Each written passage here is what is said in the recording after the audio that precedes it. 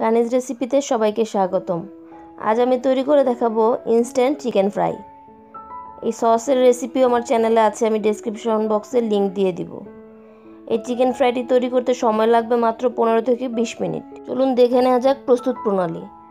আমি এর জন্য নিয়ে নিয়েছি হাড়সহ চিকেন এখানে আমি এই টাইপের পিস করে নিয়েছি। খুব বড় সাইজের পিস করিনি, যেহেতু একদম কম সময়ে তৈরি করব। দিয়ে দিচ্ছি হাফ চা চামচ পরিমাণ আদা বাটা, হাফ চা চামচ পরিমাণ রসুন বাটা, এক চিমটি হলুদ গুঁড়া, হাফ চা চামচ পরিমাণ জিরার গুঁড়া, স্বাদ অনুযায়ী লবণ, এক চা চামচ পরিমাণ মরিচ গুঁড়া, হাফ চা চামচ পরিমাণ গরম মশলার গুঁড়া এবং এক চা চামচ পরিমাণ অরিগানো। এবং দিয়ে দিচ্ছি দুই টেবিল চামচ পরিমাণ চালের গুঁড়া। এখানে আপনারা কর্নফ্লাওয়ারও ইউজ করতে পারবেন। আমি চালের গুঁড়ো দিয়ে করছি। এখন সবগুলো উপকরণ একটু মিক্স করে নিচ্ছি। এ পর্যায়ে দিয়ে দিচ্ছি এক টেবিল চামচ পরিমাণ ভিনেগার। আমি হোয়াইট ভিনেগারটা ইউজ করেছি এখানে। দিয়ে ভালোভাবে মাখিয়ে নিলাম। মাখানো হয়ে গেছে। এখন আমি চলে যাব চুলায় ভাজার জন্যে। চুলায় প্যানে দিয়ে দিচ্ছি। আমি সরিষার তেল দিয়ে ভাজবো। আমি এখানে হাফ কাপ পরিমাণ সরিষার তেল দিয়ে দিলাম। তেলটা একটু গরম হয়ে যাওয়া পর্যন্ত অপেক্ষা করব। গরম হয়ে গেছে, তো এখন আমি চিকেনগুলো দিয়ে দিচ্ছি। চামচ দিয়ে দিচ্ছি, চাইলে আপনারা হাত দিয়েও দিতে পারবেন।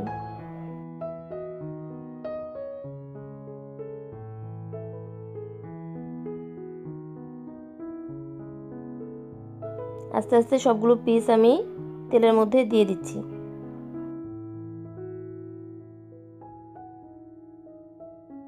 দেয়া হয়ে গেছে। এখন আমি একটু কিছুক্ষণ পর উল্টে দিচ্ছি। আপনি আপনার পছন্দ মতো কালার করে ওটাকে ভেজে নিতে পারেন।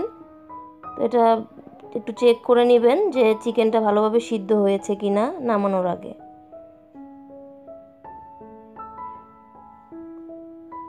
এ পর্যায়ে আমি একটু ভালোভাবে সবগুলো উল্টে দিচ্ছি এবং এখন আমার ফ্রাই করা হয়ে গেছে এবং চিকেনগুলো সিদ্ধ হয়ে গেছে। তো এখন আমি সবগুলো এক একে নামিয়ে নিচ্ছি। আমি নামিয়ে নিচ্ছি একটি কিচেন টিস্যুর উপরে। যাতে করে এক্সেস তেলটা সোক করে নেয়। তো আমার সবগুলো উঠানো হয়ে গেছে। এই যে দেখতে পাচ্ছেন। সরিষার তেল দিয়ে ভাজার কারণে কিন্তু একটু টিস্যুটা হলুদ কালার হয়ে গেছে। তো এই তো তৈরি হয়ে গেল আমার ঝটপট ইনস্ট্যান্ট চিকেন ফ্রাই আমি চিলি সসটা দিয়ে আজকে চিকেন ফ্রাইটা সার্ভ করেছি। সবাই সুস্থ থাকবেন। আল্লাহ হাফেজ।